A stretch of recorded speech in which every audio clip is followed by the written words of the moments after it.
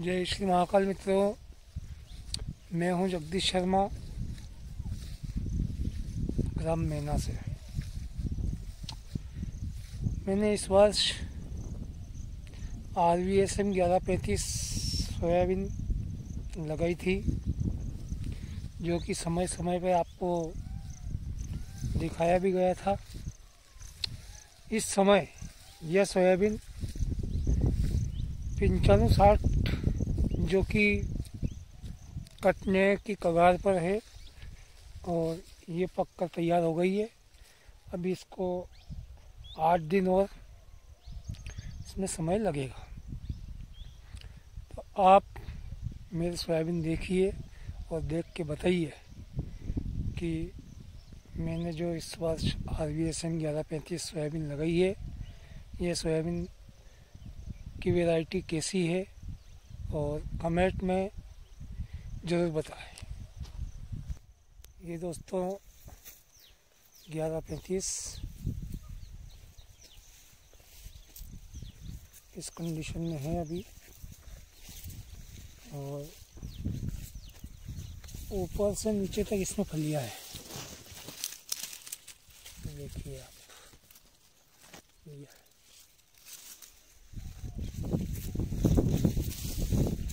मेरे को तो बहुत ही शानदार वैरायटी लगी है।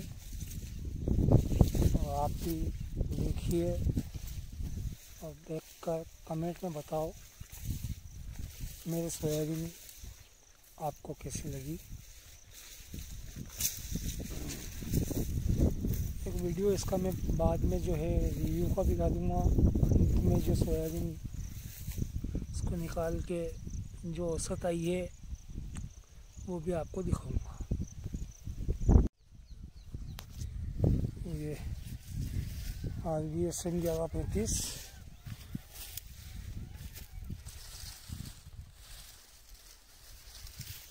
इसकी बस एक ही खासियत देखी है मैंने, इसका पौधा जो है थोड़ा दूर रहना चाहिए।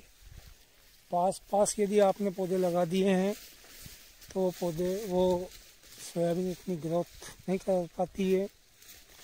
मेरे अनुसार इसमें बीज की मात्रा जो है पंद्रह के भीतर ही रखनी एक बहुत बढ़िया संतुलन जिसमें बना रहता है। और फलियाँ भी जिसमें अधिक आ सके, इसलिए इसको दूर पे ही रखना अति उत्तम है।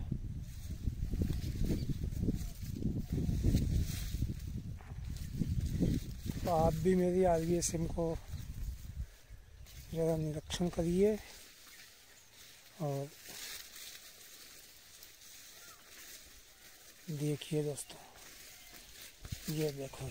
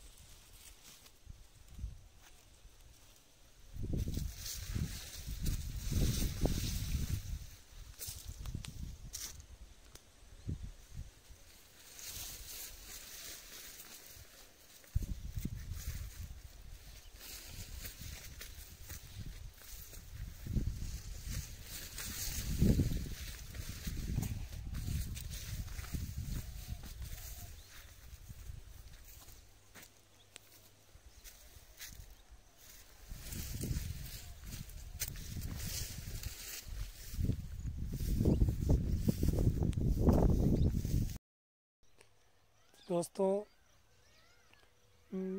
ये जो मैंने इस वर्ष नई सोयाबीन लगाई है, पिछले साल भी लगाई थी मैंने, पिछले साल भी अच्छी औसत आई थी, पर, उसमें मैंने कुछ ज़्यादा बीज डाल दिया था तो औसत कम आई थी। इस वर्ष मैंने चौदह किलो के हिसाब से बीज लगाया है, और रिज़ल्ट आपके सामने है। धन्यवाद दोस्तों, जय श्री महाकाल, जय जवान, जय किसान।